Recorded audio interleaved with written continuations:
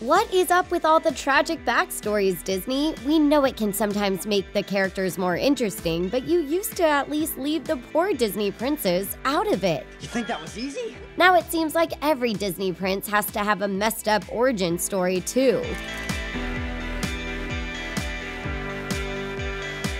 And what you did to poor Prince Eugene in Tangled the series, it's just so sad. Look at me.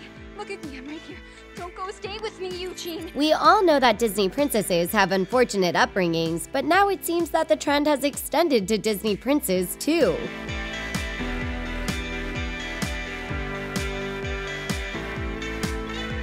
And some of their stories are seriously messed up. Keep watching to find out the tragic past of some of your favorite Disney love interests.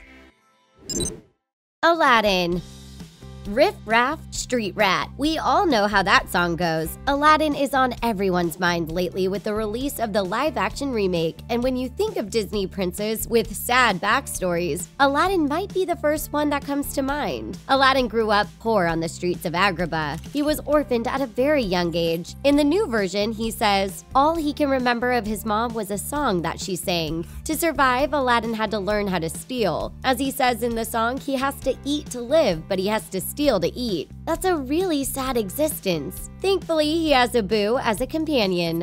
Is this where you live? Yep, just me and Abu.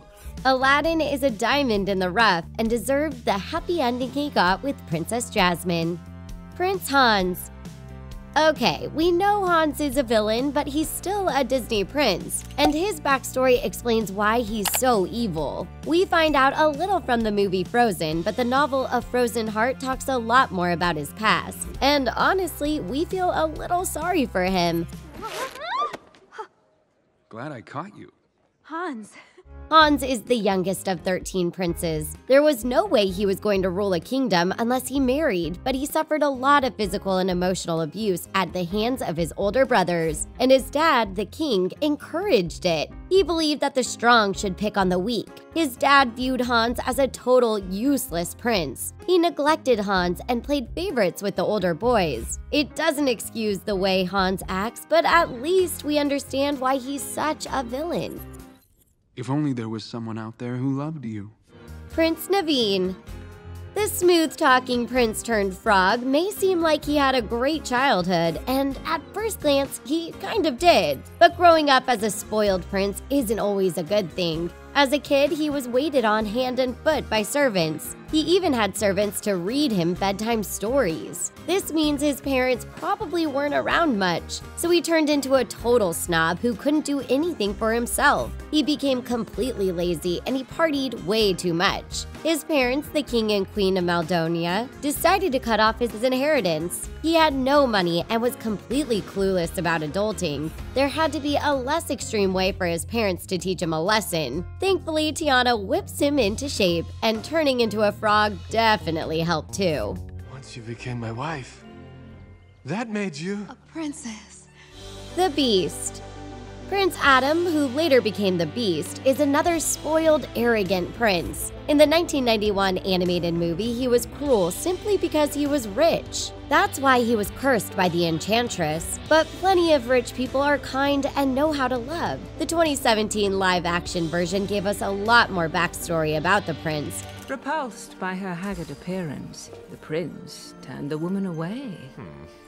He loved his mother very much, and she was a wonderful woman, but she passed away when he was just a young kid. Prince Adam's father was not a nice person. He raised Adam to be just like him. Adam grew up to be cruel and arrogant, but his household staff knew the sweet young boy was still inside somewhere. It just took Belle's love to bring it out again. Kristoff.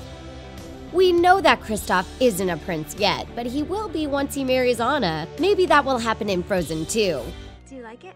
Like it. I love it! I could kiss you. Kristoff is another orphan Disney character. He was put into an orphanage at a young age, but he was far too adventurous to live there. He kept sneaking out to the outdoors. Eventually, he left the orphanage to live on his own as a kid. He grew up completely on his own until he rescued Sven and the reindeer. He would watch the ice harvesters and learned how to do the job himself. He was finally adopted by the trolls. He loves them very much, even though he says they can be overbearing and loud. But growing up as a loner who was raised by trolls caused Kristoff to be suspicious of humans. We're glad he now has a life with Anna. Prince Eugene Eugene Fitzherbert, aka Flynn Rider, starts with a similar story to Aladdin. He was an orphan who resorted to stealing to survive, and he wants nothing more than to be rich. He convinced himself his parents were adventurers who would one day return to rescue him from the orphanage. You are my son. But they never did. In Tangled the series, Eugene finds out the truth of his lineage. He was born a prince. He was the son of King Edmund from the Dark Kingdom, but when the Moonstone threatened to destroy the kingdom, Edmund ordered an evacuation. Eugene was taken by a servant and later placed in the orphanage. How sad is that? We knew he was more than just a common thief. We hope that he builds a relationship with his father after Cassandra is defeated. He deserves it. So, which Disney prince is your favorite? Let us know in the comment section. Thanks for watching. Give this video a big thumbs up and don't forget to subscribe to The Things. We'll catch you later.